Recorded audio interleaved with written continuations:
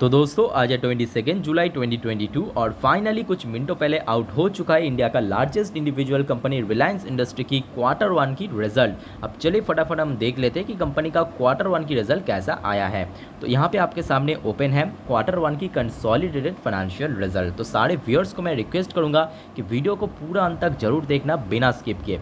तो सबसे पहले यहाँ पे आप देखिए, जितने भी नंबर्स हैं सारे इन करोड़ के फिगर पे है। तो यहाँ पे तीनों क्वार्टर का रिज़ल्ट है। सबसे पहले ये करेंट क्वार्टर यानी जून 2022 का रिज़ल्ट ये है आपका लास्ट क्वार्टर यानी क्वार्टर फोर का मार्च 2022 का रिज़ल्ट और ये हो गया आपका लास्ट ईयर का मतलब जून 21 का रिज़ल्ट अब ये तीनों क्वार्टर को एक साथ हम कंपेयर करेंगे।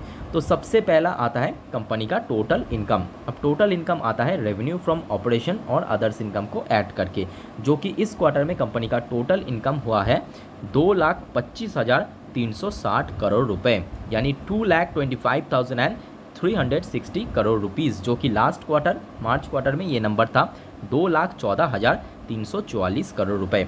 सीधी सी बात है कि क्वार्टर ऑन क्वार्टर पे हमें काफ़ी अच्छा जम देखने को मिला। साथ ही साथ अगर हम लास्ट ईयर के साथ कंपेयर करें तो जून 21 पे कंपनी का जो टोटल इनकम आया था, एक लाख अड़तालीस हज़ार पाँच सौ इक्यानबे करोड़ रुपए। मतलब ईयर ऑन ईयर पे भी काफ़ी अच्छा हमें जम देखने को मिला।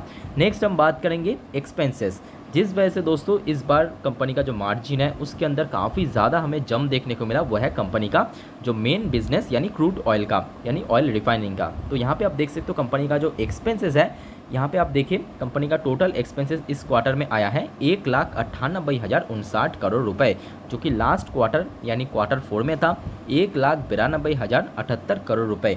मतलब कंपनी का टोटल इनकम के अंदर जितना ना जंप आया उससे काफ़ी कम जंप आया है टोटल एक्सपेंसेस अंदर। इसका मतलब कंपनी का जो मार्जिन है ऑपरेशन प्रॉफिट मार्जिन उसके अंदर आपको काफ़ी अच्छा जंप देखने को मिलेगा। तो यहाँ पे आप देखिए लास्ट ईयर पे कंपनी का टोटल जो एक्सपेंसेस का नंबर आया था, एक लाख इकतीस हज़ार दो सौ चौरासी करोड़ रुपए। मतलब अगर हम बात करें ईयर ऑन ईयर पे टोटल इनकम बढ़ने के साथ साथ जो कंपनी का टोटल एक्सपेंसेस है, उसका नंबर भी काफ़ी बढ़ चुका है। अब चलिए एकदम सीधा नीचे चलेंगे। नीचे चल के देखेंगे कि टैक्स वैक्स सब कुछ भरने के बाद जो बचता है, उसे हम प्रॉफिट फॉर द पीरियड यानी नेट प्रॉफिट कहा जाता है। तो नेट प्रॉफिट कंपनी का कितना आया तो यहाँ पे आप देखिए, इस बार सबको चौंका के रख दिया। ऑलमोस्ट बीस हज़ार करोड़ के आसपास पहुँच चुका है। जैसे कि यहाँ पे आप देख सकते हो कंपनी का इस क्वार्टर यानी जून 2022 में यानी क्वार्टर वन पे कंपनी का नेट प्रॉफिट आया है 19,443 करोड़ रुपीज़ उन्नीस हज़ार चार सौ तैंतालीस करोड़ रुपए जो कि लास्ट क्वार्टर मार्च में कंपनी का टोटल नेट प्रॉफिट आया था अठारह हज़ार इक्कीस करोड़ रुपए। यानी अगर हम बात करें क्वार्टर ऑन क्वार्टर बेसिस पे अप्रॉक्सीमेटली एट परसेंट के आसपास हमें जम देखने को मिला। साथ ही साथ ईयर ऑन ईयर पे बात करें तो सारे रिकॉर्ड तोड़ दिया दोस्तों। लास्ट ईयर पे कंपनी का नेट प्रॉफिट आया था जून 21 पे तेरह हज़ार आठ सौ छः करोड़ का। इस बार वो जंप होके ऑलमोस्ट साढ़े उन्नीस हज़ार करोड़ के आसपास पहुँच चुका है। यानी ईयर ऑन ईयर पे अगर हम बात करें दोस्तों 40 परसेंट का जम देखने को मिला, जो कि नेट प्रॉफिट के अंदर, जो कि पहले से एक्सपेक्टेड था भी। इस बार कंपनी का रिज़ल्ट काफ़ी दमदार आएगा, क्योंकि उसके पीछे मेन रीज़न है। क्वार्टर वन पे हमने देखा था क्रूड ऑयल का प्राइस एकदम आसमान छू गया था और उसका पूरा पूरा फ़ायदा मिला रिलायंस इंडस्ट्री को। अब चलिए थोड़ा सा नीचे चल के देखेंगे कि कंपनी का जो बेसिक एंड डायलूटेड ई है यानी अर्निंग पर शेयर तो उसके अंदर कैसा चेंजेस देखने को मिला? तो यहाँ पे आप देख सकते हो, एक हो गया आपका बेसिक यहाँ पे हो गया आपका डायलूटेड तो यहाँ पे आप देखिए कंपनी का जो बेसिक अर्निंग पर शेयर इस क्वार्टर में है 26.54 का डायलूटेड है 26.54 का। जो कि लास्ट क्वार्टर में इसका नंबर था 23.95 का बेसिक एंड डायलूटेड दोनों ही सेम था। और लास्ट ईयर की अगर बात करें बेसिक्स था 18.96 का और डायलूटेड था 18.63 था। मतलब कंपनी का जो टोटल इनकम साथ ही साथ नेट प्रॉफिट बढ़ने के साथ साथ कंपनी का जो अर्निंग पर शेयर है, उसके अंदर भी काफ़ी अच्छा खासा हमें जम देखने को मिला। अब जैसे कि आपको मालूम है कि रिलायंस इंडस्ट्री का बिज़नेस बहुत वेल डाइवर्सिफाइड काफ़ी बड़ा बिज़नेस है। इस वजह से इसका अलग अलग सेगमेंट पे कंपनी का रेवेन्यू जनरेट करता है। अब चलिए देख लेते हैं कि कंपनी कौन सा सेगमेंट पे कितना कितना करोड़ का रेवेन्यू जनरेट किया। आप थोड़ा सा ध्यान से देखना, क्योंकि यहाँ पे पूरा फंडा आपको पता चलेगा कि कहाँ पे सबसे ज़्यादा रेवेन्यू कंपनी कमाया है। तो यहाँ पे आप देख सकते हो कंपनी ऑयल टू केमिकल यानी ओ टू सी बिज़नेस जहाँ से सबसे ज़्यादा रिलायंस इंडस्ट्री को रेवेन्यू आता है।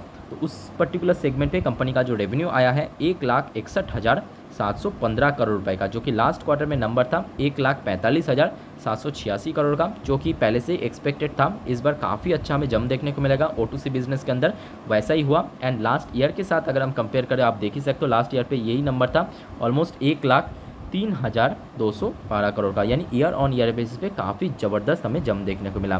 साथ ही साथ अगर हम बात करें ऑयल एंड गैस इस पर्टिकुलर फ़ील्ड से भी काफ़ी अच्छा हमें जम देखने को मिला। ऑलमोस्ट 3600 करोड़ के ऊपर, जो कि हमने देखा क्वार्टर ऑन क्वार्टर भी, और ईयर ऑन ईयर पे तो बहुत ही शानदार हमें जम देखने को मिला।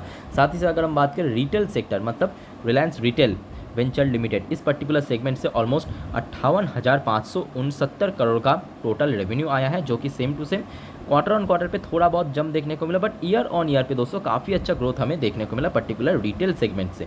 नेक्स्ट अगर हम बात करें डिजिटल सर्विस जिसका अभी प्रेजेंट जो चेयरमैन है, मुकेश अंबानी जी की, जो कि बड़े बेटे, आकाश अंबानी जी।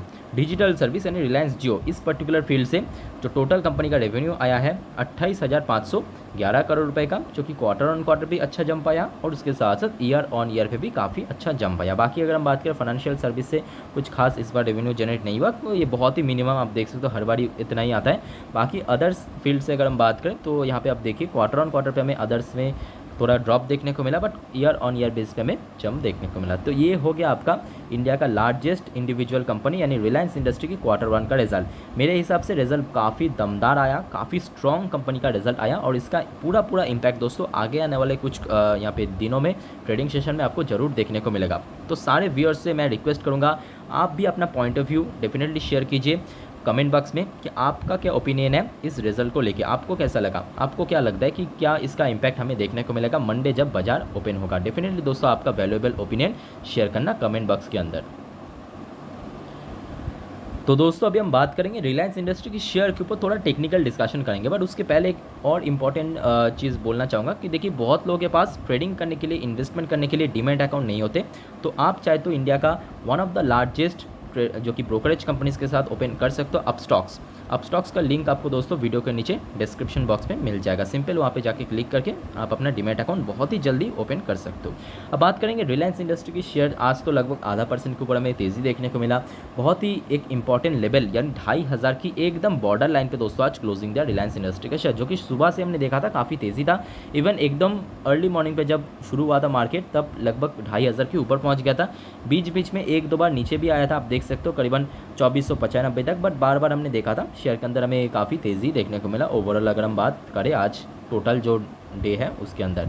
तो डेफिनेटली लॉन्ग टर्म के लिए काफ़ी अच्छी शेयर है और डेफिनेटली आज अगर हम देखा जाए दोस्तों, आपने देखा होगा शायद, इसमें पावर सेक्टर यानी रिन्यूएबल सेक्टर कोई भी मेंशन नहीं था, क्योंकि कंपनी अभी लगातार इन्वेस्ट कर रहा है। तो वहाँ से कंपनी को कोई भी अभी रेवेन्यू वगैरह जनरेट नहीं हो रहा है। बट आगे आने वाले कुछ क्वार्टर में जैसे ही वहाँ पर आप देख सकना कि कंपनी को लगातार कॉन्ट्रैक्ट वगैरह मिलेगा पर्टिकुलर रिन्यूएबल फ़ील्ड से तब देखना उसका भी जो रेवेन्यू है प्रॉफिट है, यहाँ पे जुड़ जाएगा।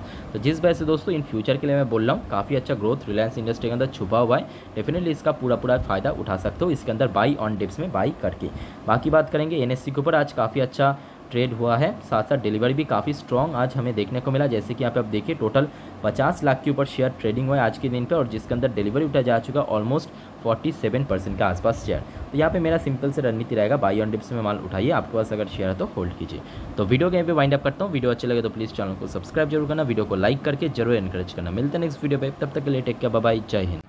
तो दोस्तों, अगर आपके पास ट्रेडिंग करने के लिए डीमेट अकाउंट नहीं है तो अपस्टॉक जैसे बड़े प्लेटफॉर्म में डीमेट अकाउंट ओपन कर सकते हैं, जहाँ पे आपका ब्रोकरेज फ़ीस ना के बराबर लगता है। लिंक आपको वीडियो के नीचे डिस्क्रिप्शन बॉक्स में मिल जाएगा। आपको सिंपली ये चार चीज़ों को तैयार रखना है। आपका आधार कार्ड, आपका पैन कार्ड, एक कैंसिल चेक एंड आपका सिग्नेचर और आधे घंटे के अंदर आपका डीमेट अकाउंट बन जाएगा।